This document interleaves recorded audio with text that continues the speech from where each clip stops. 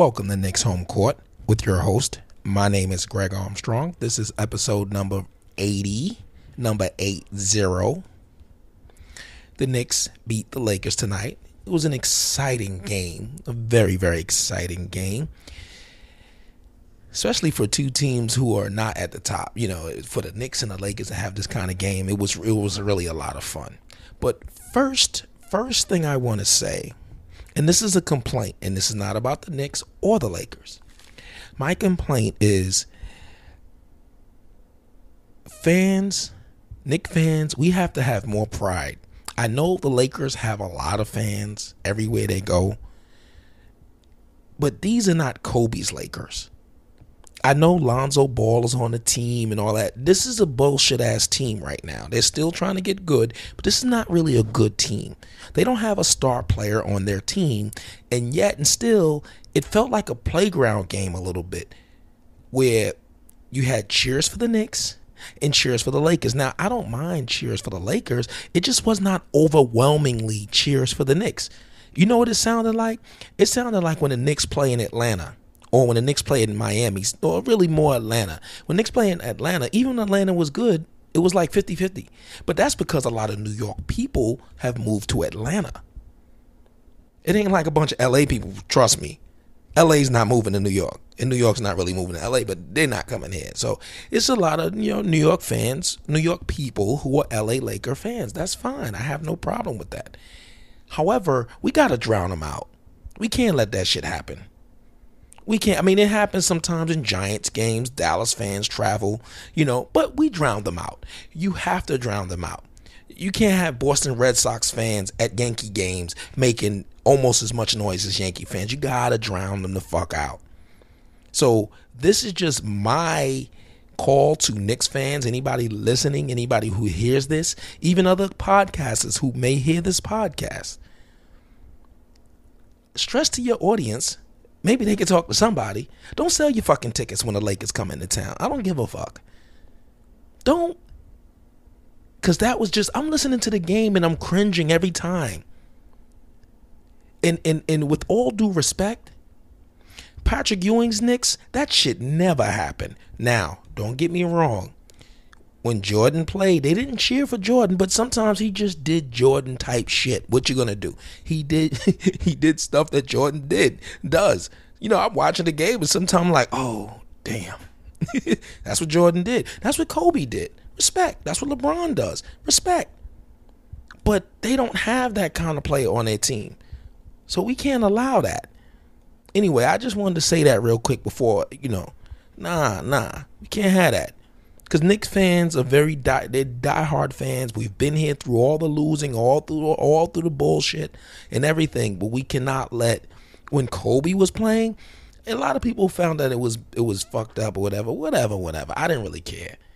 You know, the Knicks sucked. They haven't been good. We finally got a great player to come play. You know, to, to see him play. Look, you see Kobe play in person, your mind will be blown. That's how good that dude was. So come on. I respect that. But this team, nah, that shouldn't happen with this Laker team. Now let me get to the game. Great game. The atmosphere was crazy. Great game by Kristaps Porzingis. I had some critical things to say about him, but I'm not going to get too critical when he had such a great game. Again, two things I just want to note. Once he develops a go-to move, he will be, he will become even more unstoppable and once he starts to understand where the double team is coming from, he's starting to hold the ball just to look around. But sometimes I'm noticing that he makes up his mind, I need to shoot this ball. Even at the end of the game, I felt like the Knicks, when it was 4.5 seconds, he didn't have to have that shot. Once the ball was inbounded to Ntilikina, with the seconds were going. You know, you can't make because what happens is when everybody knows Porzingis is going to shoot, the game becomes predictable. It becomes predictable. So that's the problem I have with that kind of situation down the stretch. Porzingis is not. It sounds crazy that I'm going to say this, but he's not unstoppable yet. Why? Because he he doesn't have a handle. He doesn't really have a handle. Even though he made a beautiful, beautiful driving move to the hoop and laid it up, that was impressive. I was like, wow, that was impressive. I really did like that move. But like I said, no, no, no, no shade to Kristaps. He played a great game. The Knicks played a gritty game. Again, I don't believe in moral losses, you know, and I don't believe in bad wins. It's a fucking win. Two weeks from now, it'll just be in the win column. That's it. So I don't care that it was the Lakers now. It would have been, I do believe in bad losses though. And it would have been a bad loss that you let the Lakers come to town with their show and Magic sitting courtside and all these people and let that take place. I wouldn't appreciate. I would have been pissed. That's why I really wanted to win this game. Get the fuck out of here with that shit. And one thing, another thing I want to say in positivity to Kristaps Porzingis, and I'm gonna get on some other players in the Knicks that played well tonight. Another thing I like that Kristaps Porzingis did is Kristaps wasn't just protecting home court, but he's protecting like I am the fucking man here in New York. You're not gonna bring your circus here with all due respect, you're not going to come here. No, that's not, you're not showing me up. Because even when Kristaps was scoring, I'm listening to Mark Jackson and he's like still giving props to Lonzo. And Lonzo wasn't really scoring. He had a good game, he had a decent game, but he's not a scorer. So you're not going to see that from him. You know? But I got to say this I got to give major props to Ntilikina because, see, I look for little things in players a lot of times. I look for an edge. Like I said, I think Kristaps has that edge. That's why I call him the sneaky killer because he has that edge. He's the type of player that he has that edge. He wants to kill his opponent. And he put like this, he at least doesn't want his opponent to go off on him. And tonight, for the first time, I saw that in Ntilikina.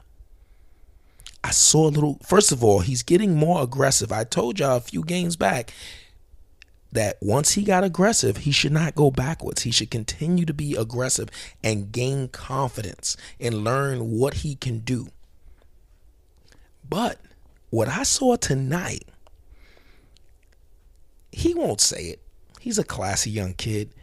But them cheering for the Lakers and Alonzo Ball, stuff like that, he really got into that game, took a couple of great shots. He was defending his honor as well. And I saw it. I'm watching him play. He a few times. The one thing I can say is I'm I'm gonna tell you this right now. I'm telling you this right now, my Knicks home court listeners. I am telling you this right now.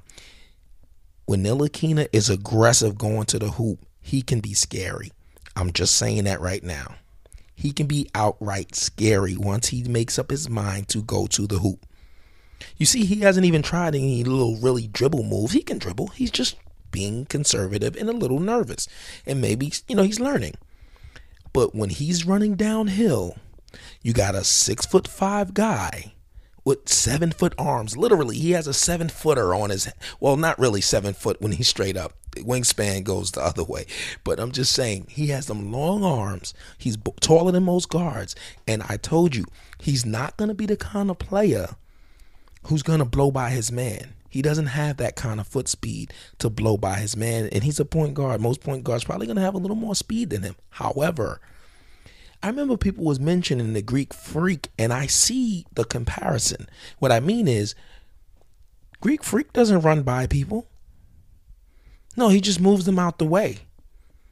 Now, I'm not saying Frank is going to do anything like that. I'm just saying, think about the guards.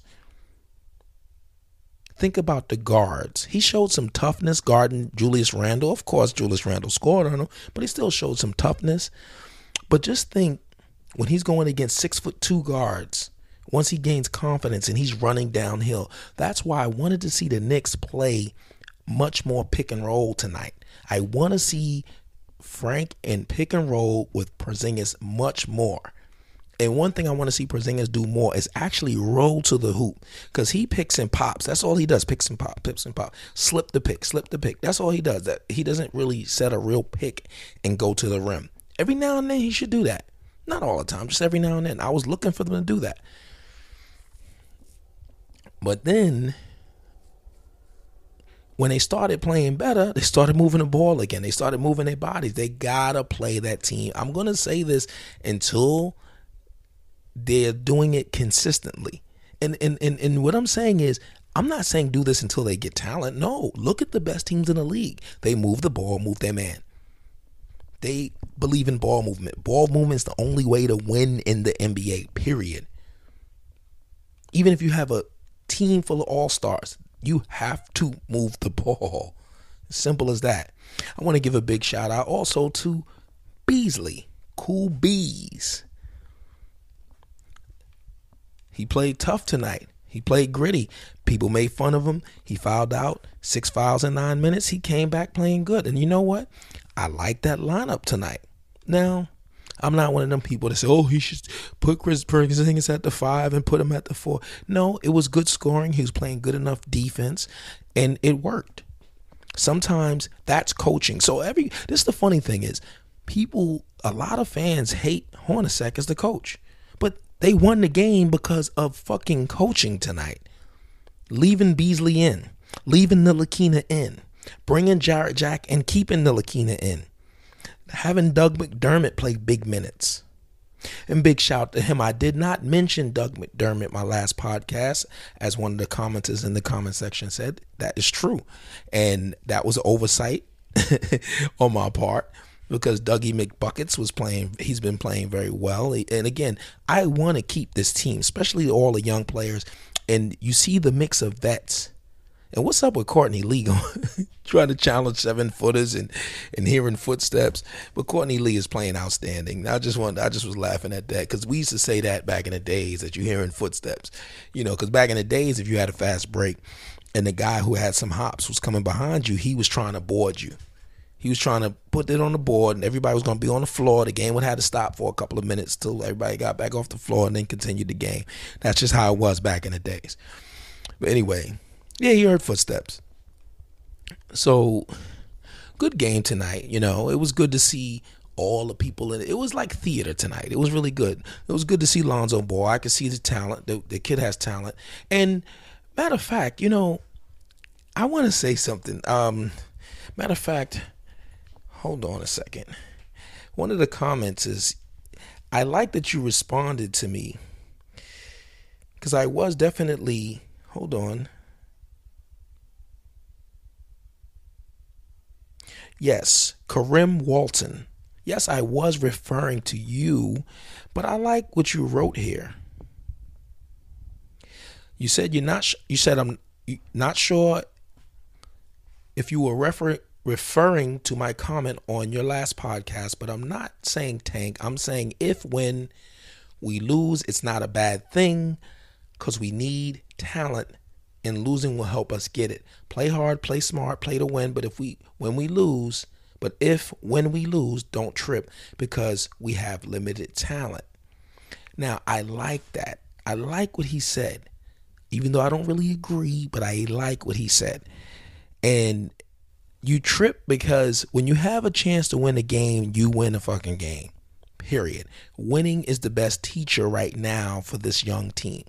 And the reason why I say you're incorrect, Mr. Walton, and I like that I like your comment. That's why I read it. I thought it was well put together. The reason why I disagree is we saw it tonight. Kyle Kuzma. He had what, 19 points? He looks like he's a keeper. And he was in late first round draft pick. Maybe second round. I think it was late first round draft pick. I know somebody will correct me in the comments. I appreciate that. But he wasn't a top 10, top 15. He wasn't top 20. I don't think he was even the top 20 pick. And look at Kyle Kuzma. So it's all about your front office, your scouting. And that's why I mentioned those other teams. And a shout out to the commenter who also mentioned that Kawhi Leonard actually got traded to the Spurs for George Hill. That is actually absolutely correct. And that was an oversight on my part. I appreciate that because sometimes I'm shooting from the hip. I'm just saying it. Actually, at the time when I did that last podcast, I was driving, so I didn't have, you know, I couldn't look anything up. But it's all good. But again, I don't advocate. Look, First of all, when it comes to tanking, this is what I would say. You only should really be trying to tank the last, but like this, once you're eliminated, you should tank. Once you're eliminated from contention, if you're eliminated and it's two months left, yeah, you should play all the young players and let them get better. If the Knicks are eliminated from contention, yes, they should try to lose games because it makes no sense to win them at that point. Unless you put all the young guys in, Dotson all of them, and they win in games that way, fine. I can live with that too. But I always tell you, beware of winning games when they don't count. Beware of players that ball out when it doesn't count. Beware of that. I knew a b- bunch of playground le- legends or people who played good in the playground, and when they got into organized ball, all of a sudden they turned into garbage. A lot of times people can't play in that structured environment, and they can't play when it's money on the line, when it's really serious, when it counts. Remember Marty Collins. Don't forget him because he was almost averaging triple doubles at the end of one season, and he got cut the next year because he wasn't really good. So we need like like like oh, for example, tonight Ntilikina playing these important minutes right now. This builds t- players up, young players into something. Look at now in a contrary, look at Okafor. Now some people might think Okafor is garbage. Some people might think he's garbage. But look what they did to that man. He didn't hardly get to play. See, that's what tanking does. That's what it does. They had no one, and then they had Embiid, and then they drafted Okafor. You know why they drafted Okafor? Now, don't get me wrong, Embiid had his injuries, but they really drafted Okafor because Philadelphia was all about assets. They didn't have a real game plan. First of all, when you don't have a system, first of all, one thing I can say that Phil Jackson's correct about is you have a system and you draft for that system, you can build build your team out. If you don't have a system, you're just saying, let me just draft this guy who can play and draft this guy who can play and draft this guy who can play. If you're a defensive coach, don't you draft defensive players? Offensive coach, you draft offensive players or players who can create shots, things like that. Well, the Sixers were just like, well, let's just draft three centers. they drafted three centers. And another thing, that's why I always say front office is the most important thing you you can have because you have teams that have been in a lottery for 10 years. So that proves that being in a lottery is not a, proof. Let me say this: being in a lot, lottery alone doesn't do it. You see, and that's where I fault James Dolan because he's always been willing to spend his money. See, if I had been, if I was James Dolan, I would put all because there's no salary cap. There's no salary cap for GMs and presidents. Now he spent a bunch of money on Phil Jackson. I'm saying I would just do just what smart business people do in every single company. They hire the underlings. Xbox did, believe it or not, Xbox did that to PlayStation. They hired the underlings and they came up. That's how you do it. I would have went right to Sam Presti's underling, see if I can get him on the team. See if I can get him because Sam Presti's an awesome GM. You know, I would have went to the Spurs like like the Nets did. That was a decent hire. I don't know how it's going to turn out, but that was smart. You do things like that because your front office is your most important thing after the players. So again, if you have a great, you can spend a bunch of money on your scouting. The Knicks don't have to be cheap. The Knicks can literally have first class in every area of outside of the players. They can be first class everywhere. And that's where the Knicks focus and I'm happy with Scott Perry in place. I like what he's saying. I like that Mills is going to let Scott Perry rock. Trust me. He going to let him do his thing. You know? So I just wanted to say that. So, you know, I don't, I disagree with you on the point thinking that you have to get higher.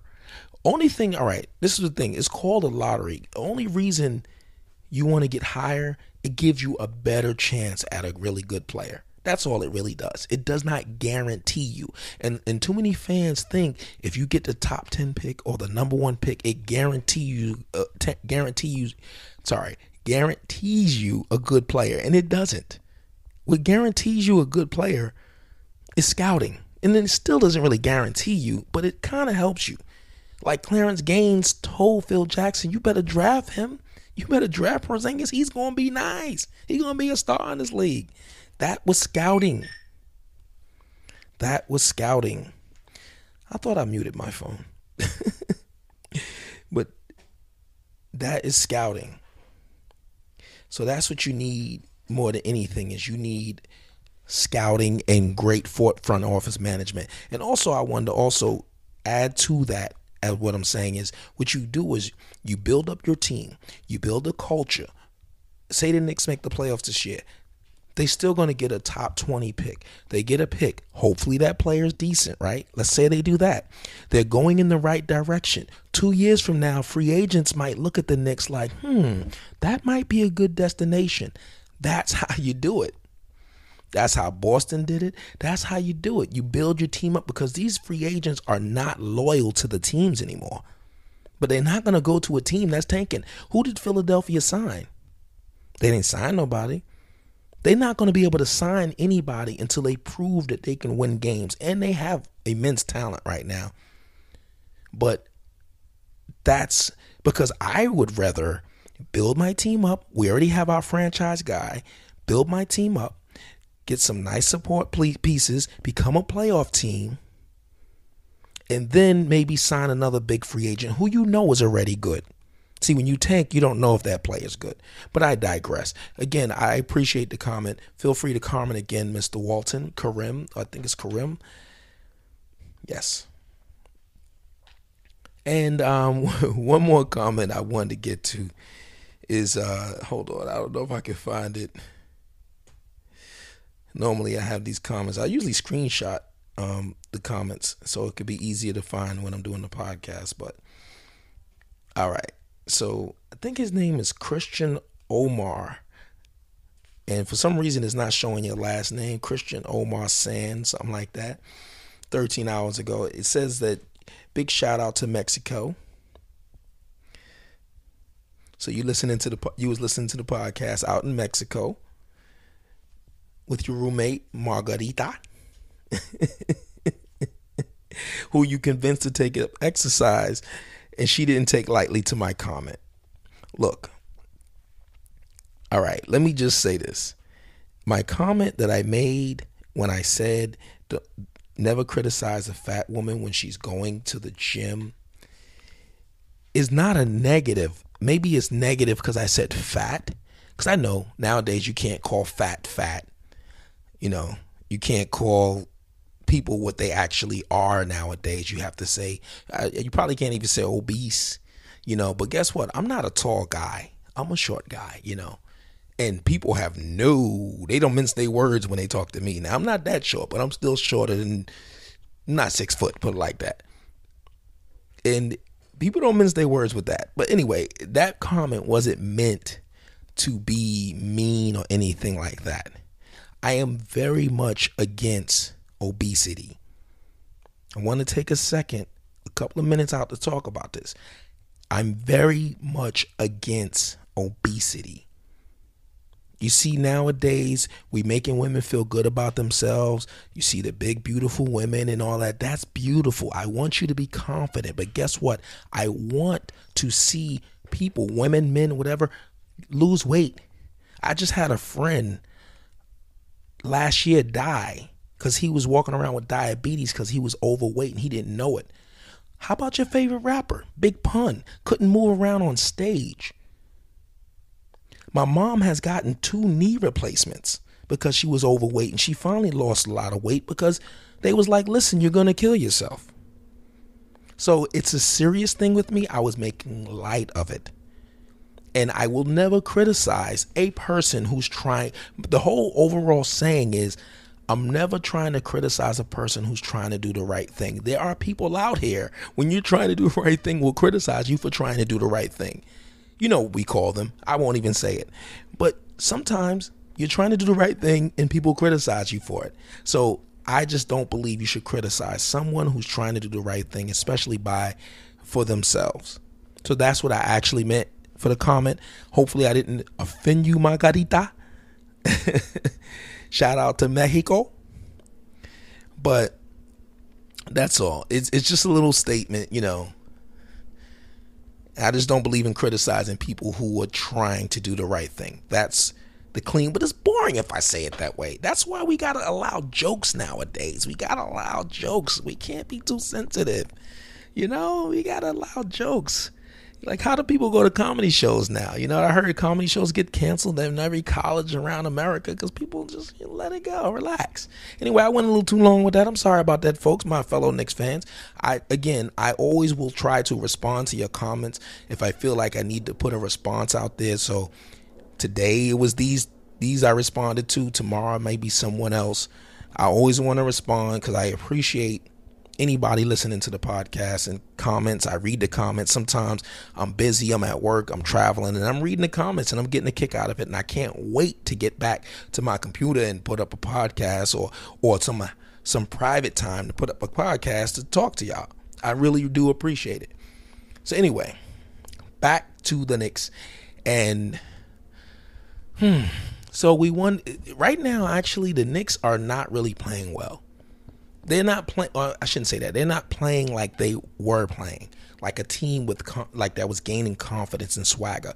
But they're staying around the 500 mark. Now, what are they? Uh, 14 and 13. Now we have enough games to say that this is a decent team. A 500 team is a decent team, and if they're 500 at the end of the year, that's 41 wins.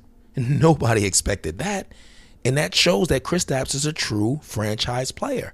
That's why one of the reasons why I want them to win so bad is because basically, if they won only 20 games with Chris Kristaps as your franchise player, that's a problem. Maybe he's not a franchise player. Maybe he's a number two or three. But he's leading the way in victories. We got to see these team, this team play good on the road. I can't wait to get Tim Hardaway Jr. back, get well soon. You know, I can't wait to get him back on the court because tonight you saw that they needed him. Again, like with Courtney Lee, I love Courtney Lee, but don't expect those you know those big scoring games from him. That's not his game. You know, he he he lifted it up, but that's not his game. He just doesn't do that all the time. You know, that's why I'm like, I can't wait to get Hardaway back, and I'm glad to have Baker back. But what I'm really looking forward to is a new and improved, aggressive Ntilikina, gaining confidence. It will change, literally change the fortunes of this team. If we can see in the second half of the season an aggressive, yo, he had 13, 5, and 5. I told you when the season started, to the, to the new listeners, listen to what I said about him. He's going to be a stat filler. He's going to be, and this is got to understand, this is 13, 5, and 5, and this is like his best game. But I could see him going for not, maybe not now, but in the near in the near future, maybe 18, 7 and 6. Like he's always gonna he was tough tonight. He was going to the boards, he was coming up with the loose balls. He was into the game. He still get passes the ball too early. He gives the ball to the big guys in the wrong spots and other players in the wrong spots. He will learn that. He's a willing passer. He's still learning on the job. So he's going to make those errors. But I love the grit that he showed tonight. I love the grit that the Knicks showed tonight. And we got some we got some games coming up against winnable games. We got to win these games because it's going to be harder games coming up. You're going to have injuries. There's always injuries. You're not going to be at your best. So you're going to you need to win the games that you're supposed to win. That's the mark of a good team or a decent team. And right now, what the Knicks are, the Knicks are a decent team. They're not a good team, but they're a decent team. They are what you call okay.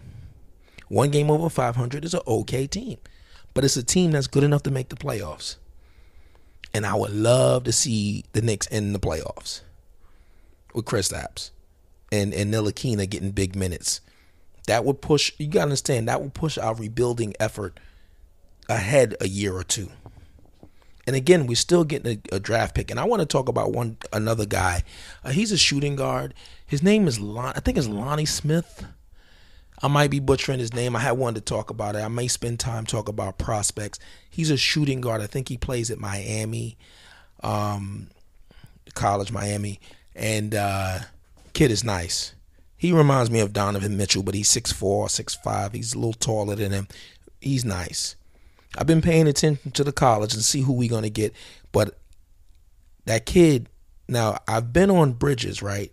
Now, that kid from Villanova, he's a defensive player, actually, and he's scoring now. His stock has gone up. He's up to the 10th pick. That's going to keep happening throughout the season. The Knicks will go to get a good player as long as they're putting their scouting up there. We're not going to get Luka Doncic, Doncic, folks. We're not getting the number one pick. That's not happening. We're not getting Marvin Bagley. We're not getting none of those top five picks. I just really doubt it unless we really get lucky. Well, I don't know. I don't. I don't even know if that's lucky because that means that we had to suck and lose enough games to even be in the ballpark, and that's not what I'm looking for. You know, and people always one thing I want to say is people say that sometimes te- teams do get stuck in the middle. You know, four or five seeds and, and, and struggle to move up. See, a lot of people say that, but I don't understand why people just don't really copy the Spurs model. The Spurs did it by going overseas and developing their players and putting them into their system. Danny Green was a marginal NBA player until he got to the Spurs. Anyway, glad I got to talk to y'all tonight. This has been Knicks Home Court, episode number 80. 80. I can't wait till I get to 100. That'll be fun. Episode number 80. I am your host. My name is Greg Armstrong. Knicks Home Court. I'll speak to y'all later. Peace.